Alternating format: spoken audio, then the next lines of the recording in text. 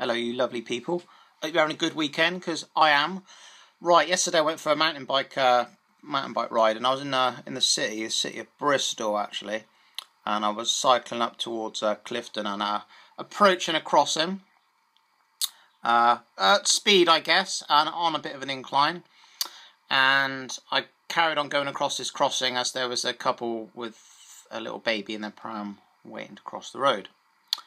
And as I proceeded across the crossing, the chap shouts, You're supposed to stop.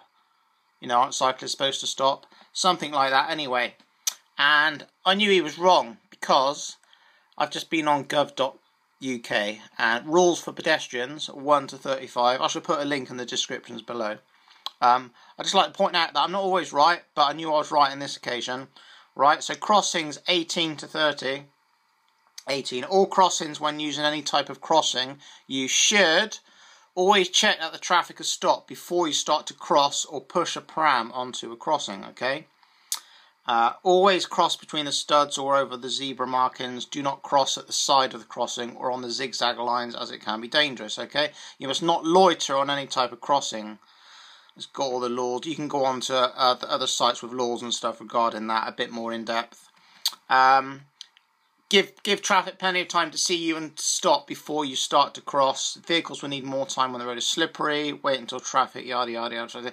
But basically, if someone has, it's different when they have actually moved onto the crossing. Okay, if they've actually placed a foot into the road on the crossing, you must stop. Okay, uh, which this this couple had not. Um, not that I was being funny or an asshole or anything. I was just moving along. Okay.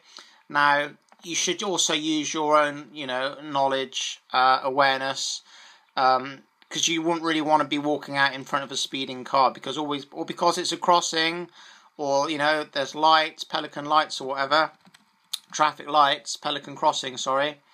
Uh, and then puffin crossings. There's various different sorts of crossings. Go on gov.uk and you'll like find out about these yourself.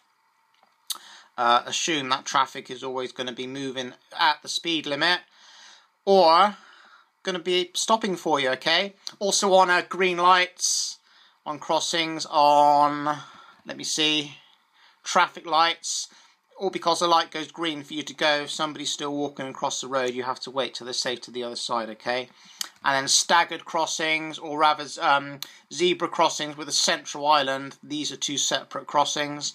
So, uh, or because traffic stopped on one side, um, it doesn't mean you have necessarily have to stop on the other side unless someone again has got their foot on the actual crossing okay? So just highlighting the fact that these people were wrong. I could have been wrong in this instant but I knew I was right on this on um crossing because I was only talking about it at work the other day.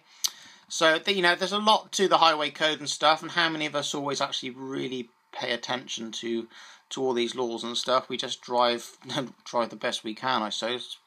Some worse than others, but I'll put like links in the description below or something. In this case, Pedallin raw was right.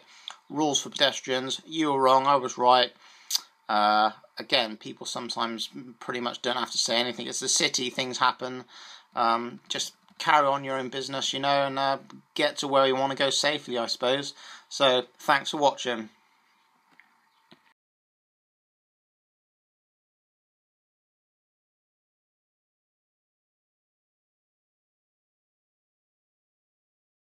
So, before you go shooting your mouth off, learn the rules.